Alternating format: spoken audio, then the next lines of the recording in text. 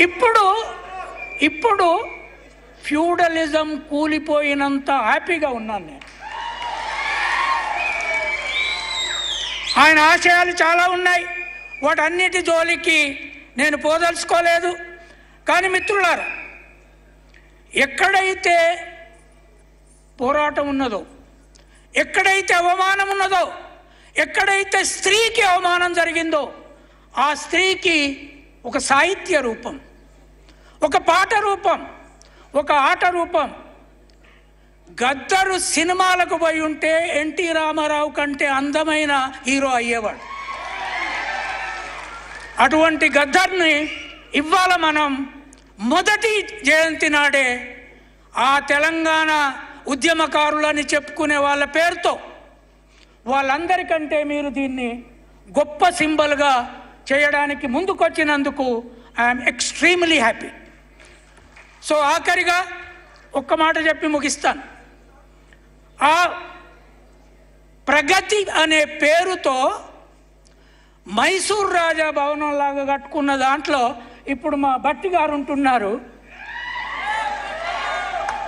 ముఖ్యమంత్రి గారు వాళ్ళ గవర్నమెంట్ వాళ్ళకి ఇచ్చింది మొదటిసారి పోయి చూసిన దానికి మహాత్మా పూలే అని పేరు పెట్టి ఆ గర్వాన్ని దెబ్బకొట్టారు.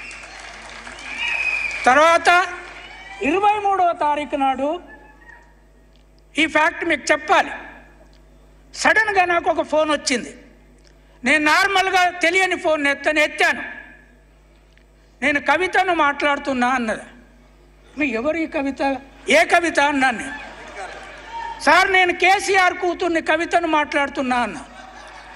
అంటే రాంగ్ నెంబర్కి చేసినవమ్మా అన్నాను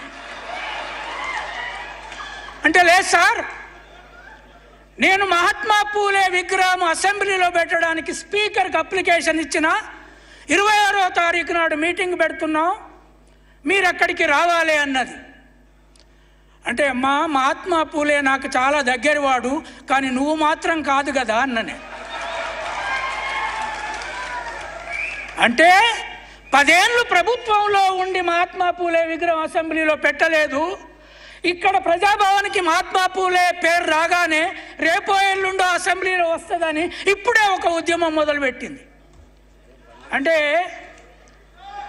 కంచాయిలయ్యే మెదడికే గాలం వేయాలని వాళ్ళ కుటుంబం ఆలోచిస్తున్నదంటే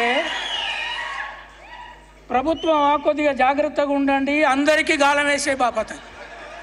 మీ ఎమ్మెల్యేలకు ఎవరికి వేస్తావో తెలియదు ఎందుకంటే కంచాయిలయ్య వాళ్ళ మీకు తెలుసు రేవంత్ రెడ్డి గారు కూడా నా ఆర్టికల్ చదివినరు ఎన్నడూ నేను దా వాళ్ళని ఒప్పుకోలేదు. వాళ్ళకే గాలం వేసి నాకు ఫోన్ చేసి అడుగుడంటే సార్ సార్ అని. ఎప్పుడైనా నేను సారు. కనుక ఈ గద్దరు కళాక్షేత్రాన్ని తెలంగాణలో నిర్మించి భారతదేశానికి ప్రపంచానికి ఓ మహా సాంస్కృతిక యోధుల్లాగా ఒక ఒక జాక్సన్ మైకేల్ జాక్సన్ లాగా మనము ఈ ప్రపంచానికి గద్దర్ను నిలబెడదాము.